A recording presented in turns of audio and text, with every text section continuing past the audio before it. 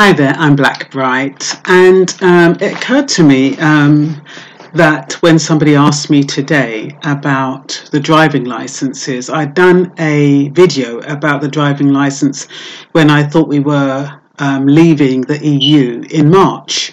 And so I was telling people to rush and get it before the 28th of March. Um, but I didn't realize that once um, once it was extended, what the implications would be. So now that it's been extended to the 31st of October, um, the implications are not that different. The fee is still the same, it's still £5.50. You can still get it from your post office.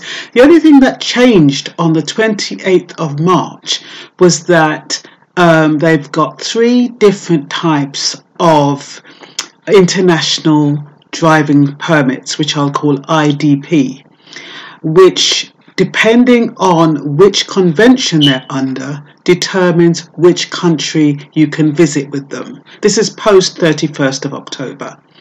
Now, you'll still need once once we leave EU, you're still going to need you to take your UK driving license with the appropriate IDP, but I'll let you know which in which international driving permits permits are relevant for which country, just in case you're going outside the EU or the EAA or whatever.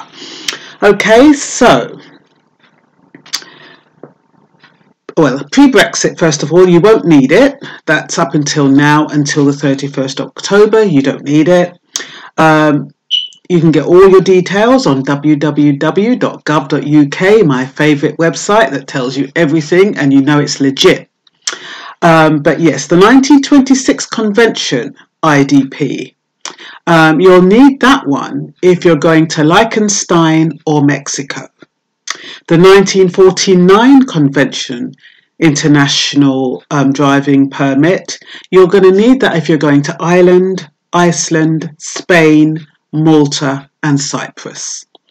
And for all the other EU countries, Norway and Sweden, you're going to need the 1969 Convention International Driving Permit. So I guess what you'll have to do when you go to the post office is let them know which countries you're going to visit and they'll furnish you with the correct international driving permit.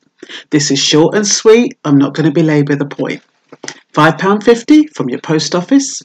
Bye bye.